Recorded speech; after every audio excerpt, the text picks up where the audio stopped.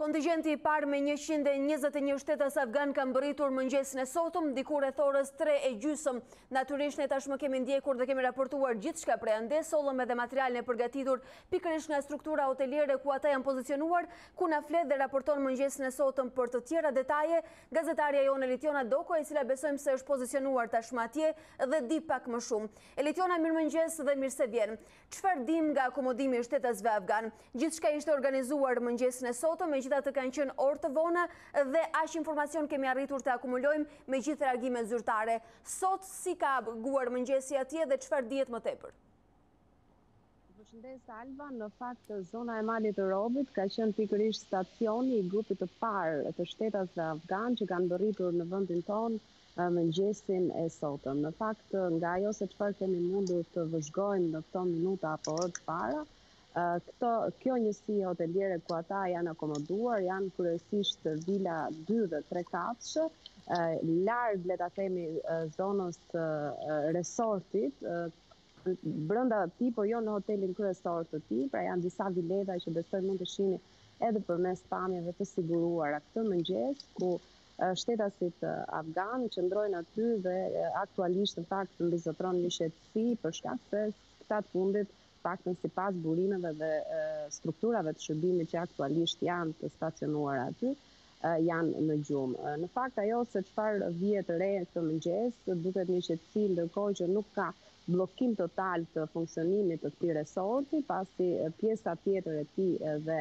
Hoteli, godina kryesore e këtij resorti vijon të jetë në në funksion të pushuesve dhe turistëve të cilët vijojnë dhe kanë rezervuar për qëndrimin e tyre në këtë zonë turistike. Natyrisht ka një perimetër sigurie të rrethuar përgjatë të zonës ku janë dhe ndodhen shtetasit afganë aktualisht, ka po ashtu efektivë të Policisë së Shtetit dhe të Policisë Private e cila është kontraktuar për të qenë në funksion të sigurisë gjatë qëndrimit të këtyre shtetasve në këtë zonë. Po ashtu, mund të theksojmë dhe faktin që përveç që sigurisë në, në tokë, ka edhe monitorime të herëpashershme nga nga, nga helikopterë ushtarakë të cilët qarkullojnë në këtë zonë dhe me sa duket bëjnë edhe monitorimin për çështje të sigurisë të vendosjeve të këtyre shtetasve këtu. Në fakt nuk është hera e parë që qarku i Durrësit bëhet strehë për shtetas me problematika në tokën mëmë. Kujtojmë këtu edhe shtetasit iranianë të të akostuar në zonën e Manzës, po ashtu pjesë territoriale e qarkut të Durrësit. Deri tani situata paraqitet e qetë këtë mëngjes, ndërkohë që në ndihmë dhe në funksion të tyre ka dhe struktura mjekësore nga institucionet shëndetësore të cilët bëjnë monitorimin e gjendjes shëndetësore të personave që janë në funksion për të shërbyer, ku vihet re po ashtu edhe përdorimi i maskave apo të tjera udhëzimeve përsa i përket edhe situatës së pandemisë. Eletiona po më flet për masa të shtuara sigurie nga toka dhe nga ajri dhe natyrisht një perimetër tashmë të përcaktuar. Megjithatë, duke qenë se shërbimi hotelier brenda këtij resorti është ende i aksesueshëm, do të thotë se edhe aksesi për njerëzit, qytetarët ose ndoshta dhe turistët që e preferojnë këtë zonë është krejtësisht i lirë. Po, Alba vijon të jetë i lirë. Mëngjesin e sotëm kemi mundur që të hyjmë brenda këtij territori dhe vihet re që ka një ndarje me një perimetër sigurie që besoj mund të shihet edhe përmes pamjeve edhe pas krahëve të mi ku janë këto struktura, ndërkohë që ka, sikundër theksova, ka një ndarje mes pushuesve dhe shtetasve afganë të, të akomoduar aty. Gjithsesi do na duhet ta shohim në orët në vijim në rast se këta të fundit do të vijojnë normalisht pse jo edhe në zonën ku ka turistë. Gjithsesi deri në momentin që flasim ka një ndarje mes turistëve të cilët vijojnë të pushojnë në zonën turistike dhe në këtë resort turistik por pa përbërë një ndarje, le ta themi një përveç një zone të rrethuar nëpërmjet një perimetri sigurie, që me sa duket nuk është bërë problematik për pjesën tjetër të pushuesve që ndodhen të akomoduar në këtë resort. Eletiona besoj se është ende shumë herët për të parë detajet dhe mënyrën se si është organizuar mikpritja e këtij kontingjentit të parë, megjithatë në informacionet tua, se për sa kohë është e përcaktuar që kjo zonë, ky resort të jetë mikpritës i këtyre njerëzve, apo ata do të jenë tranzitorë dhe vendi destinacioni për qarkun e Durrësit nuk do të ndërrohet, do të mbetet po ky? Në fakt informacionet janë shumë konfidenciale, kemi mundur të kontaktojmë me personel shërbimi kryesisht të cilët kanë bërë të ditur se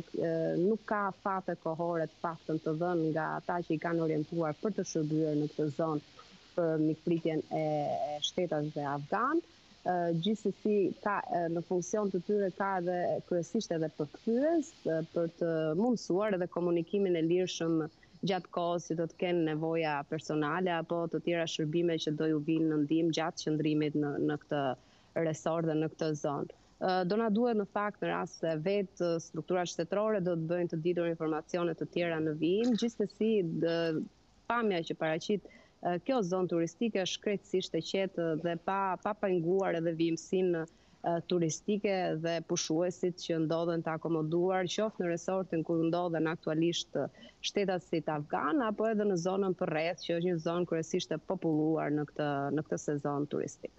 Elitjona, sipas informacioneve të para në shifra, do të na duhet që në javë dhe ditët në vijim të presim me mijëra shtetas të tjerë afganë, të cilët u tha se do të jenë tranzitorë. Burime na thanë orët e fundit se do të ketë të tjera struktura hoteliere, ndoshta përgjatë bregdetit të Durrësit, që do të parapërgatiten për t'i pritur. Informacione në këtë drejtim ose konfirmime a kemi? Nuk kemi konfirmime zyrtare, gjithsesi në rrugë Konfidenciale, na bëhet e ditur se po përgatiten të tjera struktura qoftë shtetërore pritëse, po qoftë edhe edhe njësi hoteliere private, gjithsesi do të na duhet t'i konfirmojmë dhe t'i shohim nga afër pasi ky është kontigjenti i parë që mbërrin në vendin tonë dhe sikundër e kemi ndjekur të gjithë informacionet kanë qenë tërësisht konfidenciale dhe të bëra publike nga vetë strukturat shtetërore apo ajo se çfarë shohim aktualisht në terren. Elitjona Doko, ne të falenderojmë që u ndodhe aty mëngjesin e sotëm dhe për informacionet që ndave me ne.